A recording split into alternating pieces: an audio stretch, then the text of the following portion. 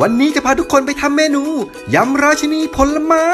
นั่นก็คือยำมังคุดนั่นเอง เห็นชิมแค่นี้ก็น้ำลายแตกแล้ว นางเอกของเราเลยมังคุด เตรียมน้ำใส่เกลือลงไปเล็กน้อย เมื่อได้ลูกมังคุดแล้วนำไปแช่จะได้ไม่ดำเห็นไหมล่ะ ขาวเนียนเนียนๆตักขึ้นมาพักให้เสด็จน้ำเครื่องของเราใช้หอมแดง ตะไคร้มะนาว ขึ้นชายและพริกขี้หนูสวน แล้วก็หมูสับ 150 กรัม กุ้งอีก 150 กรัม โปรตีนรวมเน้นๆเลย 60 กรัม จากนั้นก็นำกุ้งไปลวกในน้ำร้อนๆ แป๊บเดียวก็สุกแล้วนะ กุ้งก็จะเด้งๆเลยนำหมูสับไปลวกต่อ แป๊บเดียวก็สุกเหมือนกัน เด้งเด้งดึงดึงๆเลย มาเตรียมน้ำยำ น้ำปลา 2 ช้อนโต๊ะ น้ำตาลมะพร้าวประมาณ 1 ช้อนโต๊ะ และมะนาว เราใช้ 2 ลูกเลยนะ นำเครื่องที่เราซอยลงไปใส่